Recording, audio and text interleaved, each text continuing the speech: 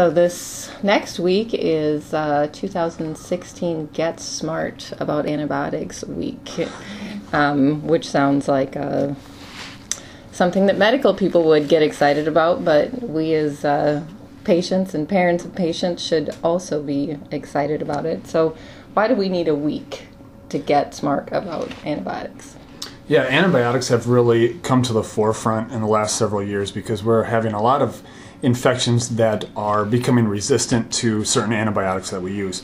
Over 2 million illnesses and 23,000 deaths a year can be contributed to antibiotic, antibiotic resistant infections or bacteria. So, as a result, the CDC and a lot of the medical community has decided to make an awareness week so that we can inform the public on how we can limit the use of antibiotics not using antibiotics inappropriately and also making sure that people wash their hands appropriately and get vaccinated for all the preventable diseases, including influenza this time of year, so that we do not keep using antibiotics inappropriately, which then would lead to more resistance and more complications as we go from here. So, maybe just to back up a little bit, um, some of us have a vague idea of bacterial versus viral infections, but what does that mean? the difference between a bacteria and a virus is the way they're formed. Bacteria are infections that are killed by antibiotics. Viruses do not get killed by antibiotics, and we really need to make sure that if somebody does have a virus, like a typical cold or or throat infections that majority of those upper respiratory infections are viruses and that antibiotics do not work for those because they're not bacterial infections. Okay, so I think for a long time, um, the the green snot. Let's talk about that. That's how I was. If it's green, it's bacterial. Yeah, and that's a huge common misnomer is that green snot, thick snot is more of a sign of a bacterial infection. But as we're having more complicated and sophisticated laboratory studies to be able to identify more viruses, we're finding that even if you have green slot, snot, the majority of those infections and those colds are still related to viruses. That that snot can go from green to yellow to clear, and anywhere in between. That doesn't necessarily mean it's a bacterial infection. So, the thing that parents and that we need to know is when do we live with it and when do we check it out? Probably, right? And then when do we say it's okay that I don't have an antibiotic? it's always hard to know if an antibiotic is needed or not needed, and that's why anytime you do feel like an illness is lasting longer than what it may have in the past, that you should always go to your medical provider. They're the ones who have the expertise to be able to further distinguish if it is a viral infection or a bacterial infection. However, I do want to make sure that people realize that even if you're getting an antibiotic, doesn't always mean that it's necessarily going to work. We always are trying to have our patients question the doctors more more frequently now to see if there's any other alternative ways that the person can get over that infection before having to use antibiotics. So part of this probably really relates to um, we just want a quick fix, and we think that's what antibiotics are. Yeah, and unfortunately, that's how people see it. Is that I get my antibiotics, I'll feel better in a day or two, and then I can go back to work. What happens a lot of times is by the time that people get the antibiotics, their viral infection is already starting to improve, and that they would have got better within a couple days, even without the antibiotics. So um, let's go a little further then. Can you give us a layman's explanation about how do we get resistance and then what are these superbugs? Resistance comes from a multiple different ways.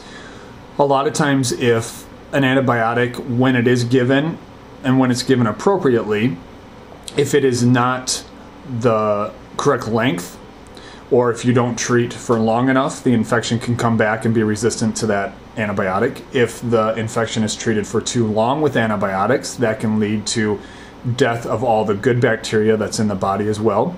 If the inappropriate antibiotic is also picked, because we have a large number of different antibiotics, and if a medical provider picks the wrong one, then it will not allow for appropriate killing of the infection that you're trying to treat.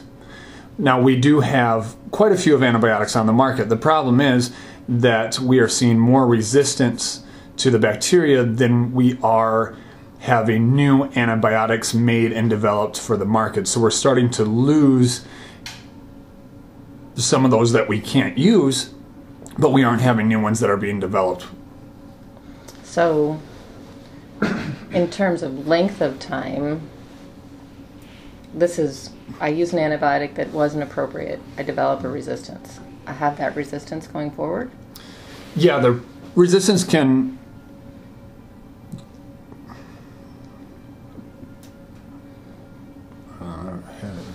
Make it so make it so we can understand it. Yeah. So, okay. Once you develop resistance to a certain antibiotic, then that can be with you the rest of your life. One of the major infections that we see and what people hear about these days is called MRSA, and that's an antibiotic that's resistant to the penicillins or amoxicillins. And that bacteria can live on you the rest of your life. So anytime you get an infection that flares up with that bacteria, that MRSA, such as a ear infection or a lung infection or a skin infection, stronger antibiotics are needed to be able to fight that infection. And once you start having a resistant antibiotic bacteria right away, that bacteria can learn about new antibiotics as it gets exposed to it and even develop more resistance to even more antibiotics the more that your body is exposed to those different antibiotics. That's frightening. Yeah, it, it is very frightening, and that's the concern, and that's why the medical community and the government and the CDC is working very hard to be able to curb the overuse of antibiotics. They estimate about one out of every three antibiotic prescription that is written by a provider is not medically indicated. A couple reasons why that physicians are overprescribing is because there's pressure on them by the parents or the patients to be able to get their kids or themselves feeling better faster. So people still think that's the quick fix. And so that's our job in the medical community is to be able to educate parents that antibiotics are not the quick fix that your child or you yourself may have a cold for 7 all the way up to 14 days and that is a normal duration of symptoms. Now, if there's secondary complications that you're worried about, such as breathing issues, not necessarily cough, but breathing issues, or you're getting worse, or fevers are lasting longer than five to seven days, those are some indications that you need to get checked out by a medical care provider. So, you just taught me something. I, I kind of thought that um, superbugs were like things that were out there that would jump on me. but really it's it's what I'm doing to my body and or what I'm doing to my child's body by begging for or pressuring yep. you to give me an antibiotic because I want to feel better right now. I'm putting myself at higher risk for later. Mm-hmm. Correct. That's scary, Jesse. you got to just say it that way. if parents knew that, if par- I mean, if if we could get parents to understand when you push for this antibiotic yep. because you don't want poor Johnny to suffer mm-hmm. more than five days, he could get MRSA and die. Yes. Jesse's not going to say it that well, way. no, I'm trying, trying to redo what Kim said. And that's the scary part when we give so many antibiotics is that with these super infections, with these antibiotic resistance, as we get further down the road, we are putting ourselves at risk, we're putting our kids' self at risk when we do pressure those doctors to give those antibiotics. And it may help by a couple days, but for the most part, if it is a viral infection, those antibiotics will not work and there will be more issues and complications down the road from having multiple antibiotic prescriptions and courses of antibiotics for simple viral upper respiratory cold and cough symptoms. Okay, so what do we do instead? People are going to get sick. They're going to get colds. They're going to get infections. For those people to. Okay, sorry. People are going to get sick. They're going to get colds. They're going to get infections. The best way that we can can stem off some of those is by doing good hand hygiene. That's washing your hands with soap and water for 20 seconds at a time. Anytime you're exposed to something that could be a potential trigger for an infection. After you wash, you want to make sure you rinse your hands with all the soap to get all the germs off and then towel dry the hands. You can also use the waterless alcohol hand wash, which works very well also.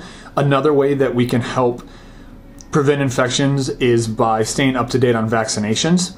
And especially this time of year is the flu vaccination. That the more people that we can vaccinate for influenza, then then that decreases the risk of developing influenza in our community. And then it also helps prevent getting secondary infections from influenza. A lot of people will get influenza and they will get secondary complications or secondary infections such as ear infections or even pneumonias related to those influenza viruses. And so getting the vaccination definitely helps prevent some of those other more serious infections that then potentially do need antibiotic use.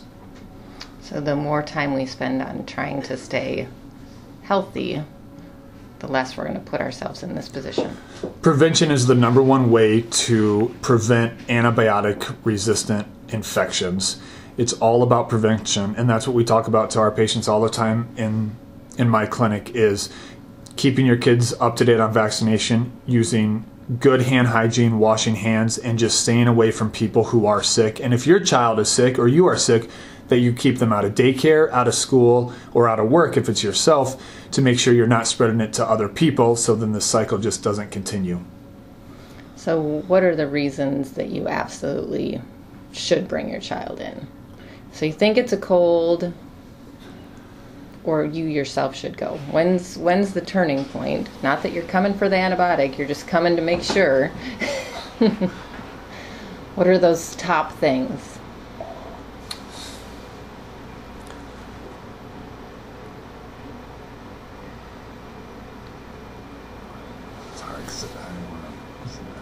loaded answer. Fevers. Start with fevers. Yeah. It can be very.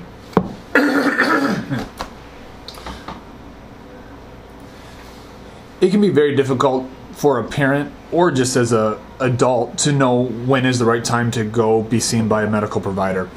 Some of the things that make us think an infection is more viral is when a person has the runny nose, either clear or thick mucus, with nasal congestion, sore throat, drainage in the back of the throat, cough, low grade fevers for three to five days is typically more of a viral infection. You can also sometimes get ear pain for the little kids associated with that.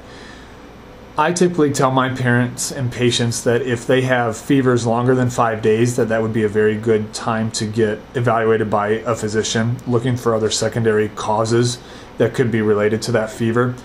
The other thing I always want parents to be knowledge about is that if the child has increased work of breathing, where they're working hard to breathe, where they're breathing faster, where it looks like they can't catch their air, that's something more significant and that we need to see those children or those patients right away.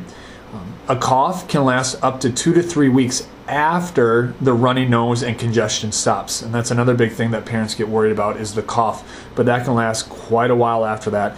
Multiple reasons include just irritation of the back of the throat that's still there. Another one is that it takes two or three weeks for the cough receptors to reset themselves before that cough completely goes away. So a cough in in and of itself without any respiratory issues, a lot of times is just related to that previous viral infection. Good. So patience too. Prevention, patience. Yeah, the two best things that I can kind of summarize this for is having patience and prevention. Being patient that your child will get sick. Now, if there's any concern that there's something else going on, always bring them in, obviously, but then also trying to prevent those infections as much as possible. And that's how we can stave off overuse of antibiotics and then developing these antibiotic resistant bacteria. Um, one more specific how high a fever is too high? None. None? Okay, good. See, that's a miscommunication well, yeah, out there. so that's hard. Um,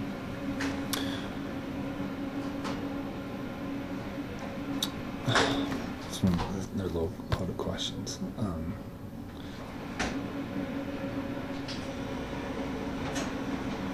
there's a misnomer about how high of a fever is too high or is too dangerous.